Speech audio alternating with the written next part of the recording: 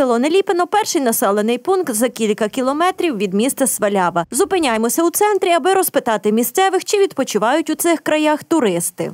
Туристи у нас не ходять.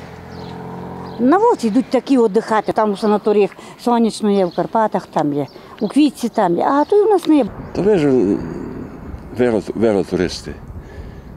А так, ну дехто йде.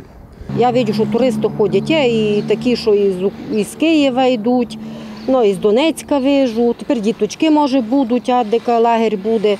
Ну, є, слава Богу, не можу повісти. Спробували дістатися до урочища Ждимир. Там дорога лише ґрунтова у дві колії. Зрештою, коли доїхали, були приємно вражені. Природа зачаровує, а чистим повітрям не надихатися.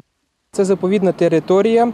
Тут е, сам, саме це господарство працює вже понад 15 років. Е, Тут е, своя вже сложена екосистема, і ми дуже стараємося, щоб не порушити її. Бобри тут живуть, косулі в нас проживають, е, кабани дикі.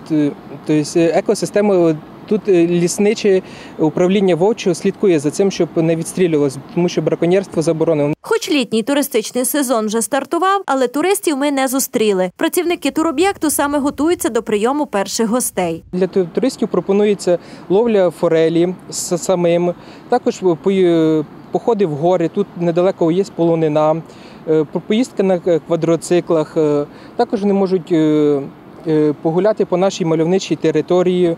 Відпочинок тут задоволення не дешеве, тож цікавимося альтернативою. До прикладу, чи розвивається зелений туризм. Ну, поки що не розвиваюся.